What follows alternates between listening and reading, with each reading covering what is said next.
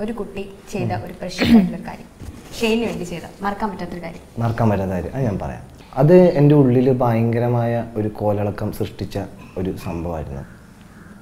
അതിപ്പോഴും അതിങ്ങനെ നിലനിൽക്കുന്നുണ്ട്. അതിങ്ങനെ അങ്ങനെ എപ്പോഴും അങ്ങനെ പോകുന്ന സംഭവമൊന്നുമല്ല. അതങ്ങനെ അങ്ങനെ കിടക്കും. അത് സംഭവം എന്ന് വെച്ച് കഴിഞ്ഞാൽ ഒരുപാട് ഈ പറഞ്ഞ ഈ നമ്മുടെ ഈ ചുറ്റും ജീവിക്കുമ്പോൾ ഈ സമൂഹം തേങ്ങ എന്നൊക്കെ പറഞ്ഞ ഒരുപാട് പ്രശ്നങ്ങളൊക്കെ ഉണ്ടല്ലോ.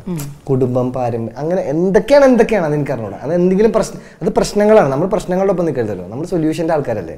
അപ്പോൾ നമ്മൾ സൊല്യൂഷനായിട്ട് ചിന്തിക്കുമ്പോൾ എനിക്ക് തോന്നി എന്താണെന്ന് വെച്ച് കഴിഞ്ഞാൽ അതിലൊരു വല്ലാത്തൊരു പോസിറ്റീവ് സാധനം ഉണ്ടായിട്ടുണ്ട്. അതായത് ആ കുട്ടി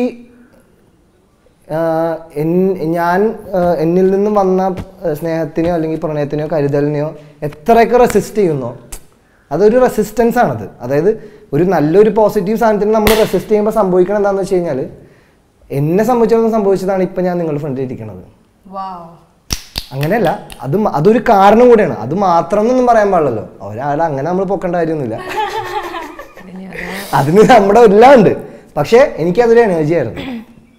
അങ്ങനെ അതെനിക്ക് ഇപ്പം മറക്കാൻ പറ്റാത്തൊരു ആ ഒരു അതങ്ങനെ ഒരാളിൽ അങ്ങനെ വർക്കൗട്ട് ആയിട്ടുള്ളൂ കേട്ടോ കറക്റ്റാണ് ഓക്കെ